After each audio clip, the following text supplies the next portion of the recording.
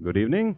This is Crime Classics. I am Thomas Hyland with another true story of crime. Listen. That's a chicken. She's a fat one. She's doing practically all the things a chicken can do. And besides all this cleverness, she's about to perform her primary function. She's going to be a dinner. The lady who carries the bird in her left hand is named Abby Durfee Borden, stepmother to Emma and Lizzie Borden. Mrs. Borden weighs over 200 pounds. The curved handled axe she holds in her right hand is her favorite when she goes out amongst the chickens. Her favorite because with it she does such a neat job, which is more than I can say for the person who murdered Mrs. Borden and her husband, Mr. Borden. So tonight, my report to you on the bloody, bloody banks of Fall River. Crime Classics, a new series of true crime stories from the records and newspapers of every land, from every time. Your host each week, Mr. Thomas Hyland, connoisseur of crime, student of violence, and teller of murders. Now, once again, Mr. Thomas Hyland.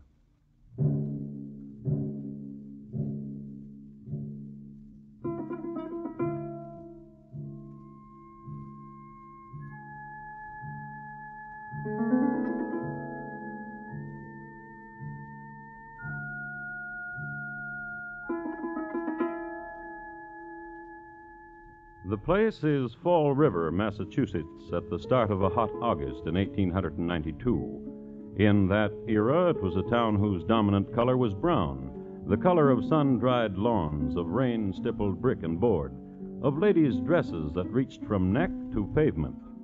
Next in popularity, as far as color went, was black. It was a stern time and a stern place, and bleak, where certain types of smiles were suspect and where women only dared to stretch in the privacy of kitchen or boudoir. It was a time, too, when 18 was the age of marriage, and a single woman of 32 had to find surcease in this way breaking saloons' windows, knitting, secretly tearing from the newspaper the latest picture of John L. Sullivan, also Jim Corbett, who was rumored to be more of a gentleman, or this way.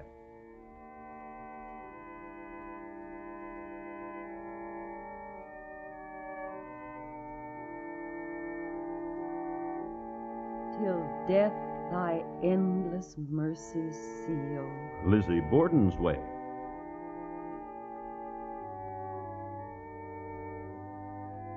and make the sacrifice complete.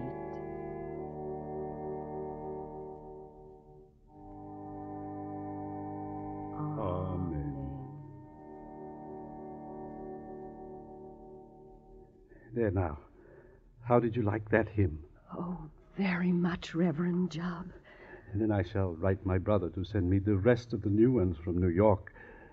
I trust your judgment, Miss Borden, implicitly. How is your brother? Oh, he's getting married. Married? Didn't I tell you? No. No, you didn't. I'm sorry.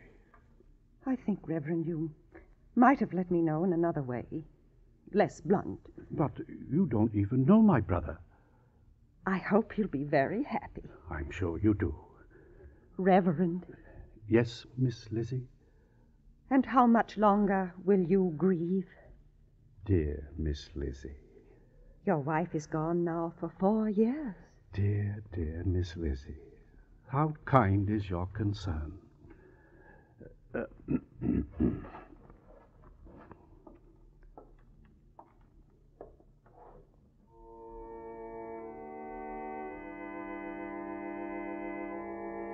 Still let me prove thy perfect will. My acts of faith, Faith and love repeat.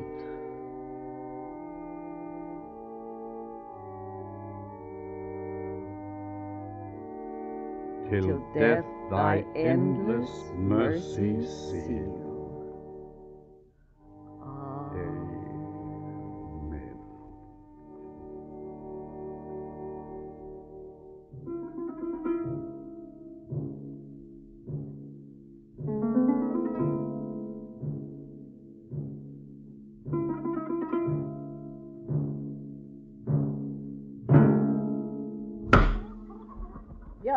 Likes chicken, Lizzie. Chicken he shall get. Glad you came out to the backyard. You can do something for me beside picking pears from the tree. You're just jealous because you can't eat pears, Mrs. Borden, because you break out. Where you been, Lizzie? With the Reverend Mr. Jubb. He got some new hymns from New York. Why are you laughing? Oh, if I was a true mother to you instead of a stepmother, I'd tell you right out you're never going to get married, Lizzie. New hymns from New York, your work with the Fruit and Flower Mission, none of these are going to help. If I was a true mother to you, I'd tell you all of those things, but tenderly. Yes, Mrs. Borden. And it eats inside you, doesn't it, stepdaughter? Yes, Mrs. Borden. You and your sister Emma, old maids. They say that about you. Did you know that? Yes. Yes, Mrs. Borden. Here. Least you can do is some work. You can pluck a chicken as well as anyone. Yeah, well, I do the other. Get used to being useful. That's a way to live, too. Take it. All right. Mrs. Borden, What is it? Aren't you concerned about yesterday? What about yesterday? About the barns being broken into? Some children, probably, Why should they break into the barn? looking for iron for sinkers so they could fish. Not so delicate, Lizzie. You do it this way. This way. I told Mr. Jubb about the milk. What are you talking about? About the milk. What about it? You've been in the sun too long, Mrs. Borden. Burned your memory away.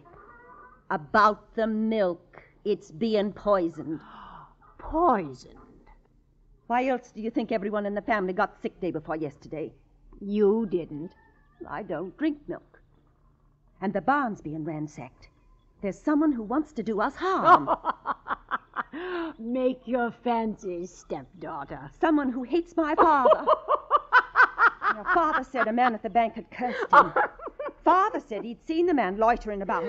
Oh, now we've come to it, haven't we? What? Now we've brought the conversation around. What? Your father. Tell you something. He doesn't care for you. he doesn't care for you at all. He loves me. Not at all. What's the matter? Blood.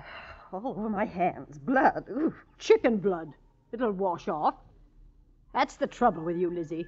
You shudder your way through. What did you do that for? What did you s- smear that blood on my face for? To see how you look, Mrs. Borden.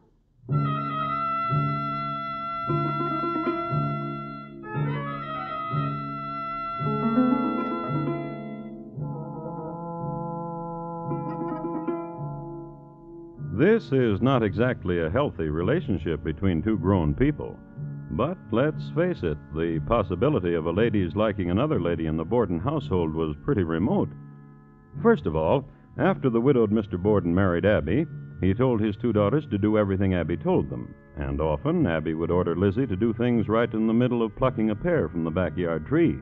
And Lizzie dearly loved the pears from the backyard tree.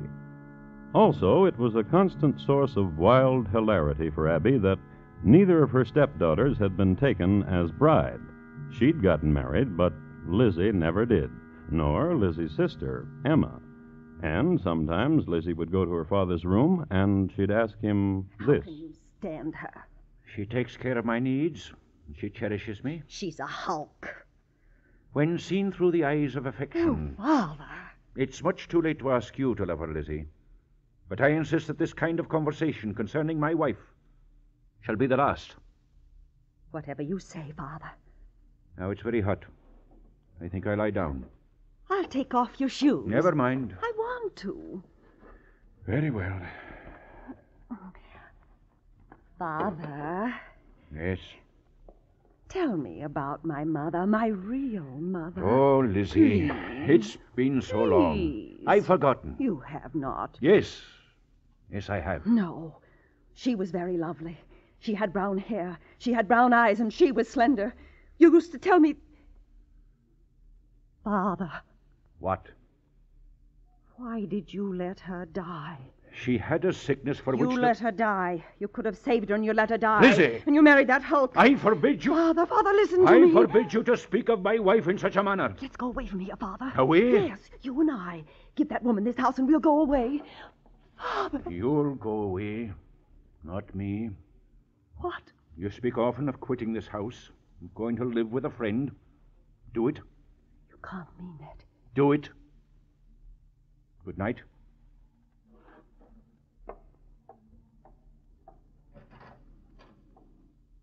Father. Father. I want you to know I always love you. No matter what you say to me. I know, and I'm sorry for you. Good night, Lizzie.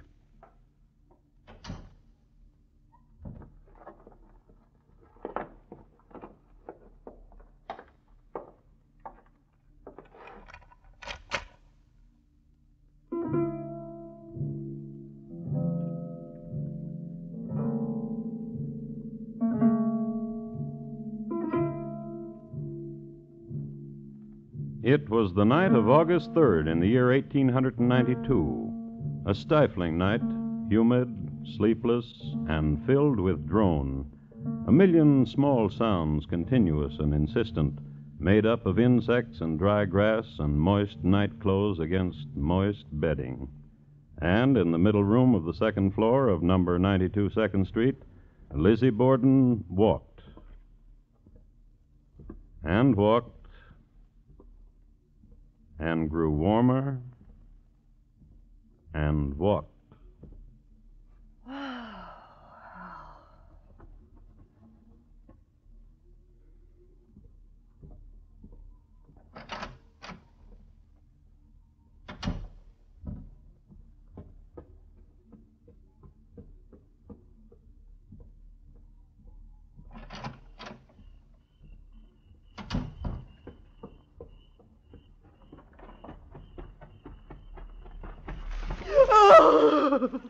And Lizzie Borden wept.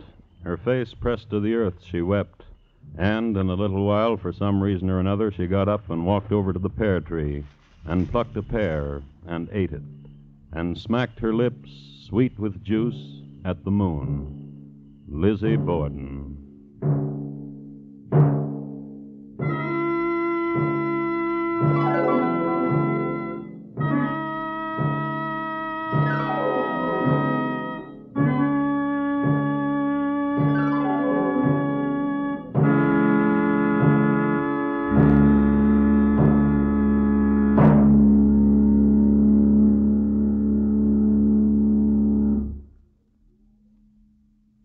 Listening to Crime Classics and your host, Thomas Hyland. This Saturday night, CBS Radio's Gangbusters presents the story of the soda fountain pigeon. Also, Saturday nights on most of these same stations, don't miss the exciting adventures of United States Marshal Matt Dillon on Gunsmoke. Gangbusters and Gunsmoke, Saturday nights at the Star's address. Hear both for twice the excitement.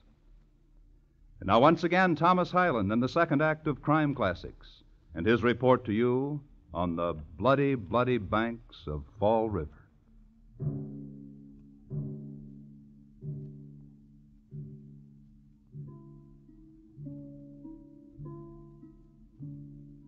I'd like to give you a brief rundown on the Borden family. Let's pick the last day all of them were alive, August 4th, 1892. Let's say about 7 o'clock in the morning. Andrew Jackson Borden, yawning. A.J. Borden is the head of the house and worth over a quarter of a million dollars. He's getting up now and getting ready to go to the bank so he can be near some of it. Lace me up, Andrew. Abby Durfee Borden, just before lacing up. Abby is 64 years of age and hadn't gone downstairs without a corset since the age of 15. Lizzie Borden, still asleep. Night clothes on the chair where she left them last night, and dreamless. Woman in bed. There are two other people I must mention There's Bridget Sullivan, the maid, who is ma- making the mutton soup for breakfast, and Emma Borden, sister to Lizzie, who's off on a trip to Fairhaven in behalf of the Fruit and Flower Mission. We know that the Bordens, all of them, had their breakfast. We know that Mr. Borden left the house at 9 o'clock for the bank. And we know that Bridget washed the windows in the attic. And we know that, as Bridget sat on the windowsill, washing in such a way that a good part of her was hanging over Second Street, Lizzie Borden was inside holding her feet so Bridget wouldn't fall. And we know, too, that there was conversation. I don't feel so good. Why? What's the matter? My stomach still hurts when I press it. It's from the other day. When the milk was poisoned? No, I don't think it was the milk. It was the bananas. I think Mrs. Borden fried them too long. And I always say that bananas fried too long in mutton soup don't go well together. Oh, help me inside, Lizzie. Here, press me. Here. Oh! You see? Well, then you should lie down, Bridget, and sleep. Oh, if I could, I would. I got these windows to do. You just uh, lie down here in your room and sleep. Oh, but Oh, you do what I tell you. if you mean it, there's nothing I'd like better. I mean it. I'd better inform Mrs. Borden where I'll be No. vacation. Oh, I'd better. No. Mrs. Borden is going out soon. Going out? Oh, she did now and, and napping. I really do. Here, I'll turn down your bedclothes. In. In with you. Now you just go to sleep.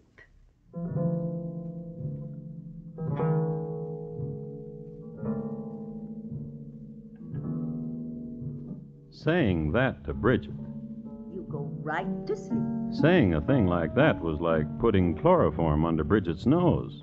She was a snoozer, that one. When she worked, she worked, but get her on a feather bed, good night all, off she went. Lizzie tucked her in and watched over her for a few minutes, and then Lizzie went downstairs and into the guest room. Hello, Mrs. Borden. What do you want, Lizzie? I thought you'd gone out. What made you think that? I just thought so. And now what do you want? What are you doing in this room, Mrs. Borden? And why shouldn't I be here? Hmm? Bridget could make up the guest room. You don't have You to. know very well Bridget is not allowed to clean any of the rooms on the second floor. Oh, yes, I. But Father's coming home. That's strange.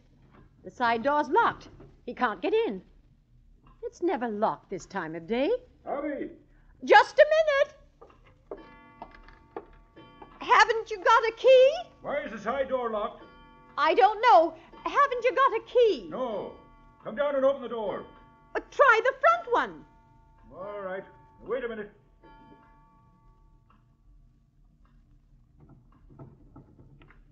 It's locked. I'll send Lizzie down. Go down and open the door for your fa. A vacuum in time.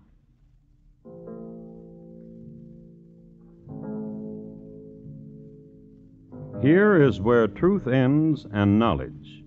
On August the 4th, 1892, at number 92 Second Street in the town of Fall River, Massachusetts, the time between 10 and 11:15 a.m. is lost. Lost, that's the only word for it. Wrenched somehow out of the rest of time and lost. And started again when that happened.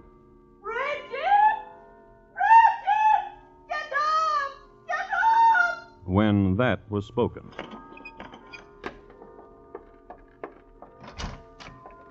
Did you call me, Miss Lizzie? Come downstairs quickly! Someone came into the house and murdered Father! What? What did you say? Someone has murdered Father Murdered him? with an axe. No, no, don't go in there. Go across the street and get Dr. Brown. Quickly.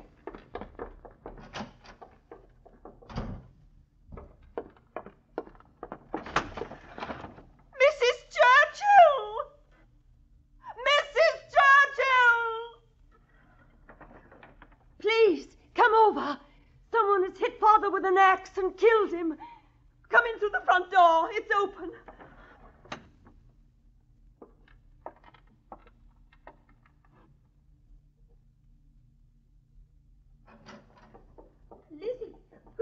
Father? In the sitting room, on the sofa. Come. You see?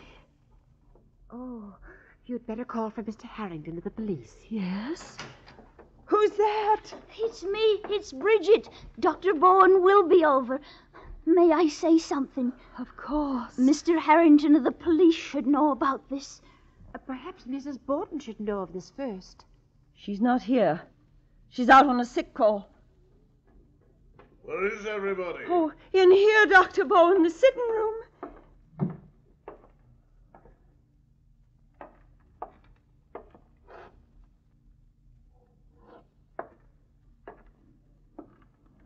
Your father is quite dead, my dear. Yes. I suggest you so inform the police. Inform Mr. Harrington. I, I, I'll see to it. You're very kind.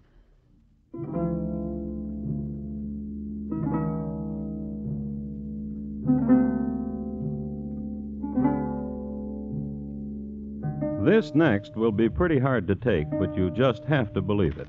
I've got the records right here to prove it. Not only was Mr. Harrington not to be found, but there was hardly any cop at all in Fall River. At this very moment, most of them were taking part in the annual excursion of the Fall River Police Association at a shore resort at Rocky Point, which is near Providence, Rhode Island. So, even as Mrs. Churchill was yelling her lungs out for a policeman, they were running sack races, splitting up into quartets for singing purposes, and the more athletic were getting their mustaches wet in the Atlantic Ocean. However, a Marshal Hilliard, who had gotten up too late to meet the trolley which met the excursion train, was sulking around town, and he's the one Mrs. Churchill spotted. She brought him back to number 92 Second Street. Here, the marshal viewed the body, gave condolences to Lizzie, and set about looking for clues. During his search, Mrs. Churchill made a remarkable discovery. Lizzie, Yes, Mrs. Churchill? I've just been up on the second floor. Yes. Your mother's up there. She's not my mother. She's my stepmother. She's dead. She's my stepmother. It looks like somebody took an axe and. Well, she's dead.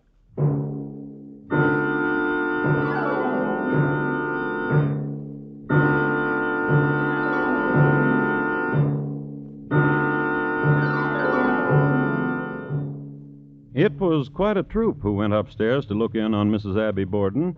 There was Lizzie and Bridget and Marshal Hilliard. Then there was Mrs. Russell and Mrs. Bowen and several other ladies who happened in off the street. Then there was Dr. Bowen, and in a little while the Reverend Mr. Jubb happened in. The latter was the kindest of all to Lizzie. Finally, toward dusk, Mr. Harrington did appear, sun tanned and sandy, and with both his striped bathing suits folded neatly in a strong brown paper. He took charge, and he asked Lizzie where her sister was. In Fairhaven, doing work for the Fruit and Flower Mission. Had her sister been there at the time her mother was murdered? She's not my mother. She's my stepmother. Very well, but where were you, Lizzie Borden? In the barn, getting a piece of iron. For what? Sinkers for my fishing. The whole morning? And in the garden. How did you happen to find your father dead? I was bringing him a pear. And the doctor? I would say your father was killed an hour and a half after your mother. What about that, Lizzie Borden? She's not my mother. She's my stepmother. Who do you think killed them then? The same man who poisoned the milk. The same man who broke into the barn. The same man who my father saw loitering. Don't you think it strange that Bridget was asleep and your sister out of town and you out in the garden, all of you out of the way for one hour and a half while your parents are murdered? Mrs. Borden cannot rightly be called a parent of mine. And these were the questions asked, and these the answers. Harrington asked them, the coroner asked them, the prosecuting attorney asked them. Yes, indeed, Lizzie was tried for murder, so there was a prosecuting attorney, and he asked them. These questions and a lot more. The trial lasted 13 days, and Lizzie Borden was adjudged not guilty. So, if Lizzie Borden was declared not guilty, we must assume this is the way our unknown murderer operated. Hot day on a busy street in Fall River. Murderer walking down it, carrying axe.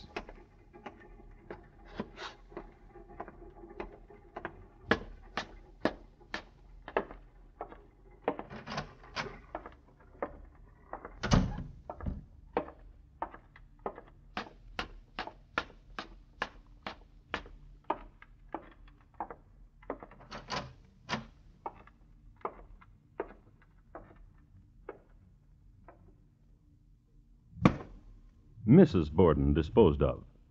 Wait one hour and a half. Then.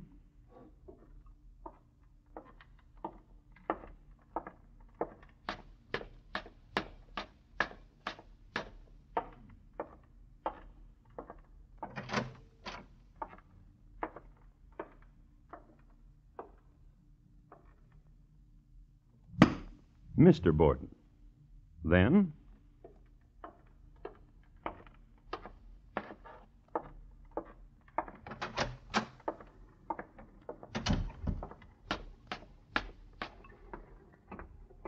And there he goes.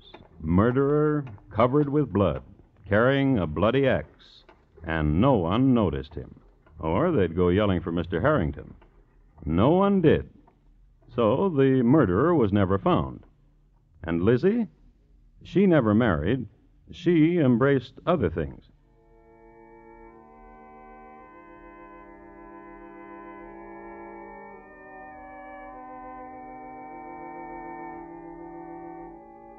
Till death thy endless mercies seal.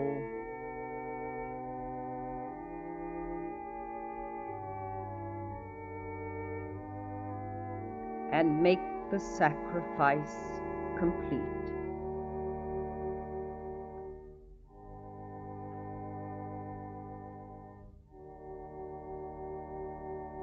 Amen.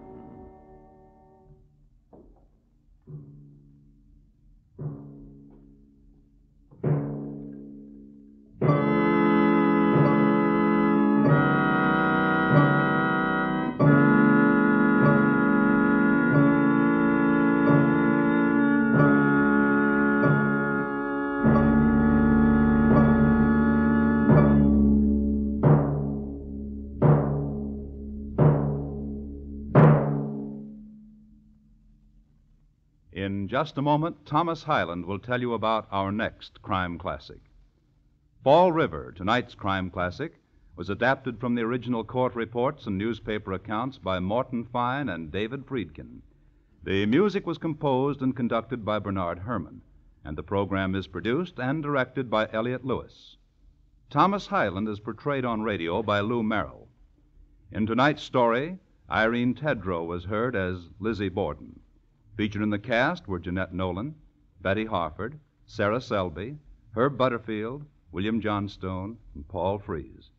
Bob LeMond speaking. Here again is Thomas Hyland. Next week, Rugeley, England, in the year 1855, and a brilliant young medical man whose hobby was dead people and live racehorses. My report to you will be on The Hangman and William Palmer. Who won? Thank you. Good night.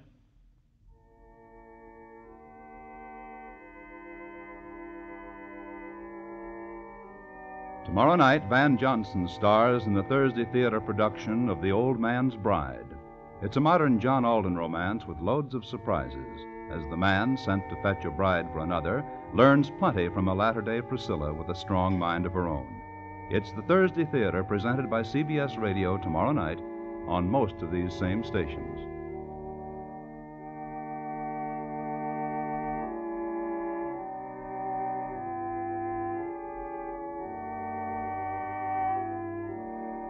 Thursday nights, Marlene Dietrich stars in Time for Love on the CBS Radio Network.